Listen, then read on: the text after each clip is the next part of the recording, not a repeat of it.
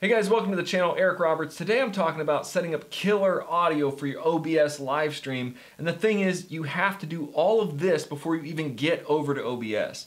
Now I've been, uh, I was ripping my hair out with OBS, trying to use the audio inside and the engine and all that, and I realized, hey, I've been on mixing consoles my whole life, so I went and I found this mixing console, Yamaha MG10XU, and I said, let's plug in some really good mics, let's do some uh, really good audio, loop in some stuff, do some reaction audio in there, and then I can put all of that right into OBS. So that is what I think you should do if you want it to be awesome without finagle waggling around with your computer all the time. So let's do it.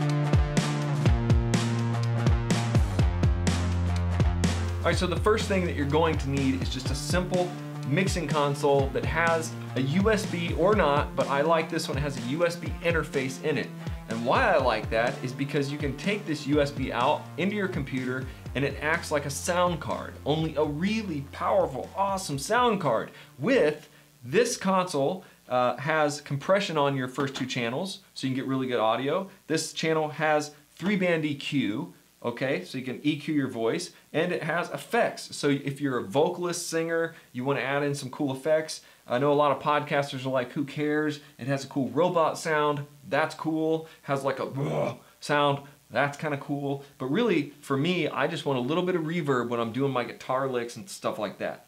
Uh, if you're gaming, if you're doing anything like that, you need, or reaction videos where you need the audio off your computer, you can just literally, on this console, it comes right out of your USB. It works like the out of your computer. Or what I do on my Mackie is I just take an out of my headphone on my computer, put it in here and I use it and I mix it all together in my headphones as I'm doing my live stream. I'm mixing, I'm like DJing for myself. Think about that. You're like your own DJ.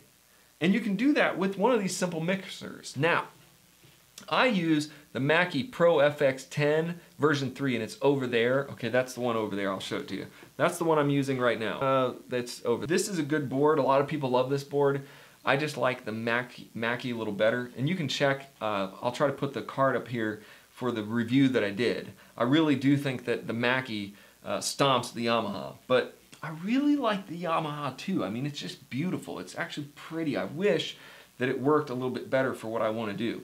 But it's a great mixer. Uh, you can put some inputs into it. You can go right into OBS. Now, in OBS, what you're going to do is you're going to go in and you're going to select your audio input and you're going to select this as your audio input. Okay, make sure you go into your advanced settings and click mono so that you get both channels have the same thing. So there's some audio settings you do there. And then with this mixer, what I found was the output level was just not hot enough for me. So I would go in and add a filter, an audio filter in OBS to gain it up by 10 or 12 dB. Okay, so that then I then I was getting a, a good signal. You want that OBS signal to be right up almost to the red, you know, touching the red. That's where you want it. If it gets way above that, it's not good. If it's too low, it's not good. You want to have a really good strong audio signal and in order to get that with some of these mixers, I've noticed you have to gain up in OBS.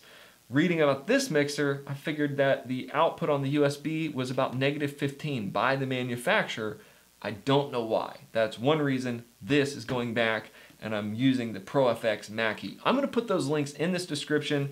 Uh, I, you can check out my other videos. I show you how to hook up the microphones. You can do, you, you can use really nice mics. You can use any input you want, use effects, and then all you gotta do is take the output, either USB or just take your headphone output, like and plug it out, out of this into your computer, and that is your overall signal. So just imagine that all of this awesomeness is one signal going into OBS. It's all pre-mixed, it's all done for you, and you don't have to mess with anything on the computer side. I really think it's a great solution for you if you want flexibility in your audio. And it's very simple to do. If you have any questions, leave them in the comment section below. God bless you. Will you subscribe to the channel and uh, consider just coming back, checking out the videos, share this with your friends. I'll see you on the next video.